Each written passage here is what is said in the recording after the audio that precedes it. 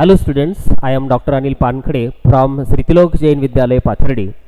In this video, we are going to learn a beautiful parody. Students, do you know what is parody? विद्यार्थी मित्रांनो parody म्हणजे काय तर parody म्हणजे विडंबन काव्य it is a kind of poem parody हा एक कवितेचा प्रकार आहे a parody is playful comic imitation of a write style it's like a verbal cartoon विद्यार्थी मित्रांनो हे विडंबन काव्य लेखकाला त्याच्या लिखाणामध्ये आनंद निर्माण करून देतं. त्याचप्रमाणे एक शाब्दिक कार्टून म्हणूनही त्याचा वापर केला जातो.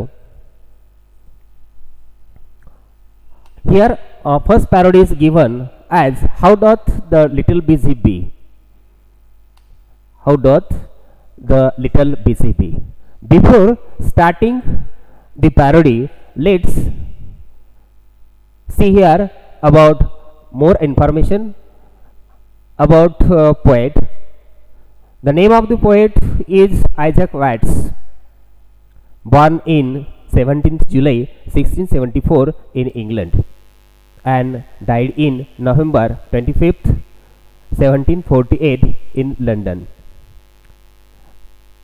Isaac Watts famous for parody writing and also he wrote many educational books especially on geography, astronomy, grammar and philosophy.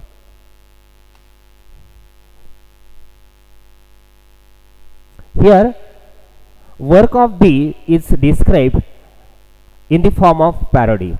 Let's see how writer described a skillful job or hard work of a bee in the form of parody. How doth the little busy bee improve each shining hour and gather honey every day from every opening flower? Let's see this slide. The picture shows that here honey bee is busy. बिझीचा अर्थ आपला सगळ्यांना माहिती आहे कामात मग्न असणं मधमाशी ही नेहमी तिच्या कामात व्यस्त असते and gathered honey every day from every opening flower it means the poet wonders as to how the little honey bee is too busy how it becomes more energetic and works even harder as the day goes by. He also wonders how it is able to fly flower to flower. Here, writer is saying that honeybee is busy. Busy means मराठीमध्ये आपल्याला माहिती आहे busy शब्दाचा अर्थ कामात व्यस्त असणं here doth is used instead of does विद्यार्थी मित्रांनो हे आपल्या लक्षात ठेवायचं आहे या ठिकाणी हा जो काही शब्द वापरलेला आहे तो डचच्या ऐवजी वापरलेला आहे थोडक्यात छोटीशी कामसू मधमाशी काय करीत असते? तर ती तिच्या कामात व्यस्त असते. एवढंच नाही तर उगवणारा प्रत्येक तास ती अधिक मोलाचा करत असते. प्रत्येक उमलत्या फुलातून दिवसभर ती मध गोळा करत असते. Students before proceeding write some words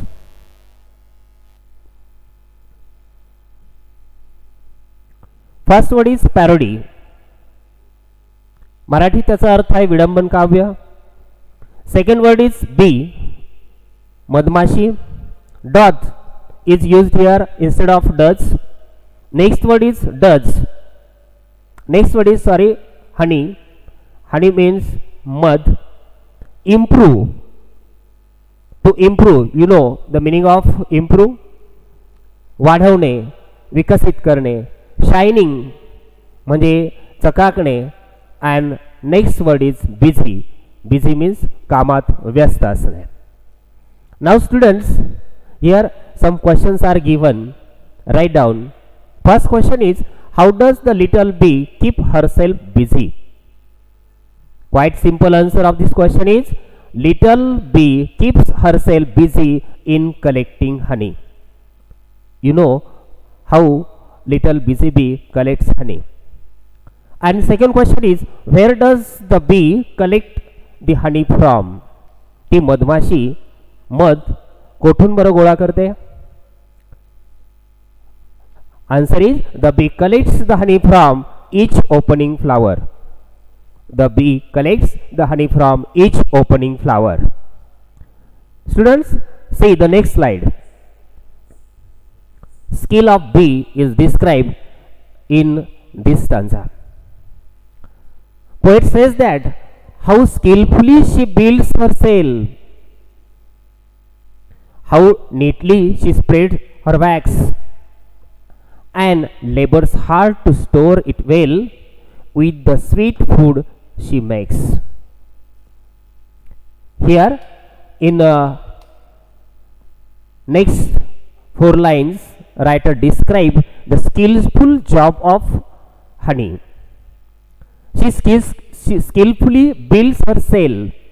Cell म्हणजे तिचं पोळं ती अगदी कौशल्याने नीटनेटक्या पद्धतीने ती तिचं पोळं तयार करत असते how neatly she spread her wax wax म्हणजे मेन अगदी कौशल्याने नीटनेटक्या पद्धतीने ती त्या पोळ्यावरती मेन पसरवत असते.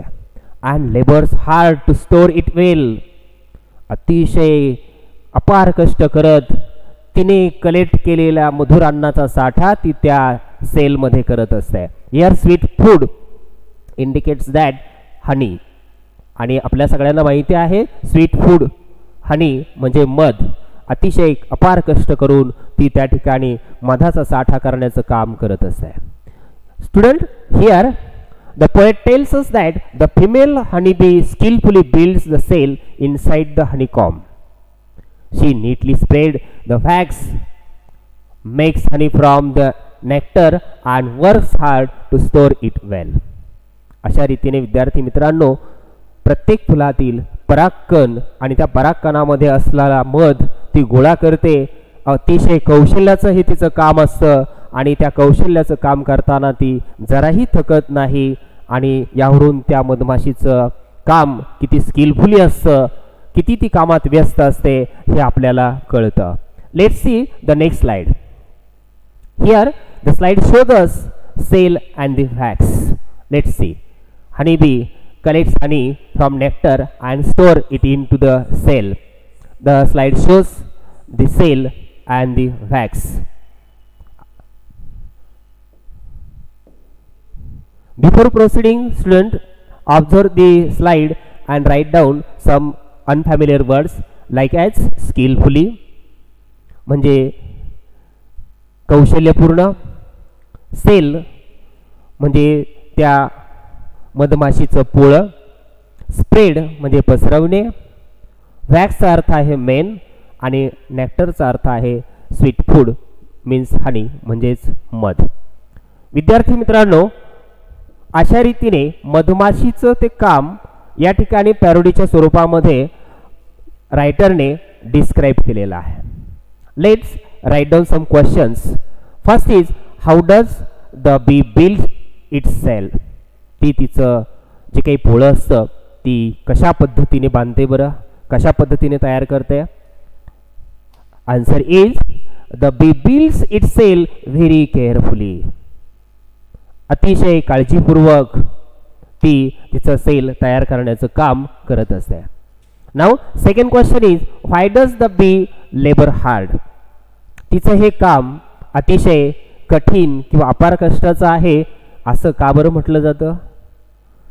Answer the bee labours hard to spray and store the wax neatly कारण फुला फुलातून परागकणातून तिला तो मध गोळा करावा लागतो आणि तो तिच्या पोळ्यामध्ये सुरक्षित ठिकाणी अगदी काळजीपूर्वक साठवूनही ठेवावा लागतो आणि म्हणून तिचं काम अतिशय हार्ड आहे असं म्हटलं जातं.